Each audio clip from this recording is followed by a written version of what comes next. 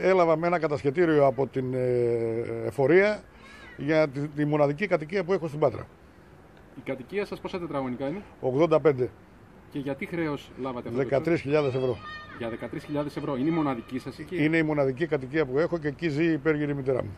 Από πού προκύπτουν τα χρέη σας, Από μια παλιά υπόθεση του Τελωνίου, στα οποία εγώ έχω αθωωωθεί σε όλα τα δικαστήρια που έχουν γίνει μέχρι σήμερα. Όταν λέτε αθωωωθεί, δεν προκύπτει ούτε το, πρό... το Ε, πρόστιμο. υπάρχει, υπάρχουν Το- μόνο τα διοικητικά το- δικαστήρια που είναι σε εξέλιξη.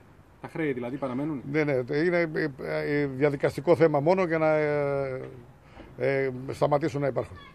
Τώρα δεν μπορείτε να προσφύγετε κάπου, δεν μπορείτε να ζητήσετε βοήθεια από κάπου; Έχω ζητήσει βοήθεια από τους νομικούς, εδώ τον κύριο Γιαρωμάτη συγκεκριμένα, και θα κάνω και ό,τι άλλο χρειάζεται γι' αυτό.